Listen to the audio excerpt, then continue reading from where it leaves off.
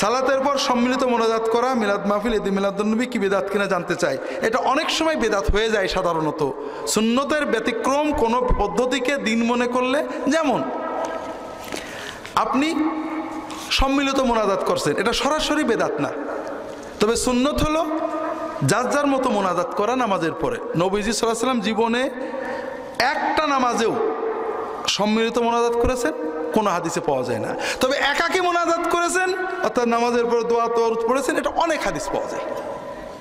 এখন সুন্নত হলে একা করা। একা আল্লাহর কাছে কানবেন, নামাজের পর দোয়া কবুল হয়।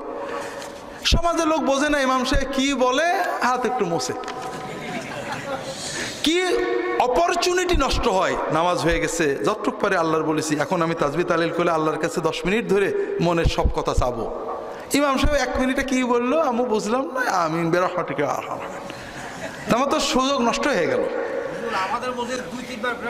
আচ্ছা এরপরও মোনাজাত আমরা চালু করিনি, সমাজে আছে। কেউ যদি করে, সরাসরি বেদাত না। তবে কেউ যদি চেয়ে এটাকে গুরুত্ব মনে করে মনে করে যে একা করার চেয়ে দলবদ্ধ করা ভালো, তখন এই সুন্নতকে ছোট করার কারণে ওই ওই মানুষের চিন্তাটা বেদাত হয়ে গেল। কেউ বোঝে না, সবাই করে করেছে ওই মানুষ। এটা সরাসরি বেদাত বলা আমাদের ঠিক না। কথা কি বুঝতে পেরেছেন?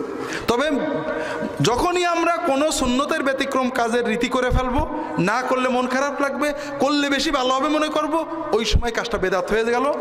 আর বেশি জানার জন্য একটু কষ্ট করে যে সত্যই সুন্নত মতো চলতে চান, রাহে বেলায়েত বইটা পড়েন, এই আসনার বইটা পড়েন।